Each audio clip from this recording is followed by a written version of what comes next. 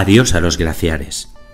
Los glaciares están desapareciendo y el ritmo al que lo hacen es cada vez mayor. Si crees que esto no te afecta o te afecta poco, te equivocas.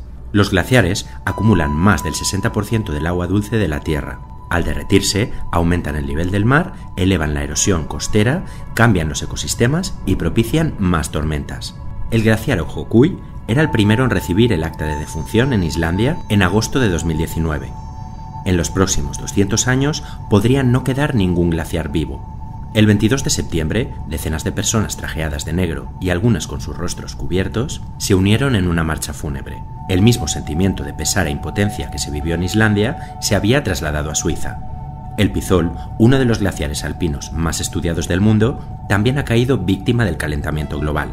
Ha perdido tanto su composición que ha dejado de ser un glaciar desde el punto de vista científico. Lo ocurrido en Ojocuy y Pizol es apenas una muestra de lo que está sucediendo desde América del Norte a Europa, desde Groenlandia hasta la Antártida.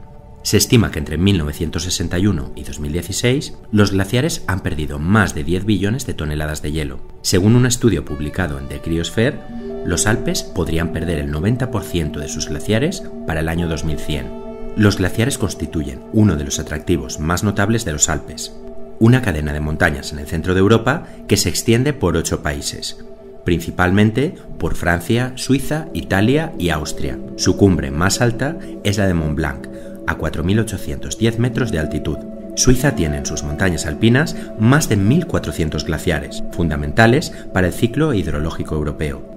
De acuerdo con un estudio de la Universidad Politécnica Federal de Lausana, los glaciares podrían quedar reducidos a unos 50, aunque cayeran hoy las emisiones de dióxido de carbono. Y es que el cambio climático se ha convertido en el mayor desafío de los tiempos actuales. Sus efectos no tienen precedentes y se evidencian principalmente en fenómenos meteorológicos con distintas consecuencias, como lo que ocurre con los glaciares. Lo paradójico es que al desaparecer los glaciares dejan de ser un aliado para mantener baja la temperatura, porque el hielo actúa como una cubierta protectora que refleja el exceso de calor al espacio y mantiene el planeta más fresco. De acuerdo con el Grupo Intergubernamental de Expertos sobre el Cambio Climático de Naciones Unidas, entre los años 1880 y 2012, la temperatura media mundial se elevó en 0,85 grados. El derretimiento de los glaciares no es un fenómeno nuevo, desde comienzos del siglo XX, viene ocurriendo como consecuencia de las actividades humanas. Después de más de siglo y medio de revolución industrial, se han disparado los niveles de los gases de efecto invernadero, esenciales para la supervivencia de los seres humanos y de otros seres vivos sobre la Tierra.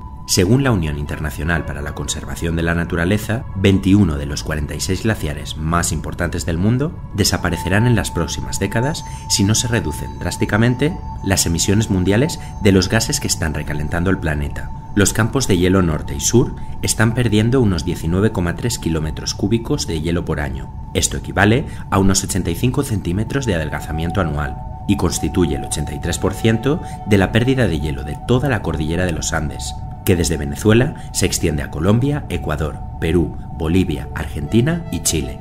Esta cadena de montañas alberga el 99% de los glaciares tropicales de la Tierra, pero el incremento en más de un grado centígrado de la temperatura desde la etapa preindustrial ha tenido un impacto muy visible en sus cumbres. En Ecuador se ha derretido un 55% del área glaciar en las últimas seis décadas, según el Instituto Nacional de Meteorología e Hidrología de este país, Venezuela será el primer país de este lado del continente que se quedará sin glaciares. Todas las masas de hielo de la Sierra de Mérida desaparecieron y apenas queda una mínima parte del pico Humboldt.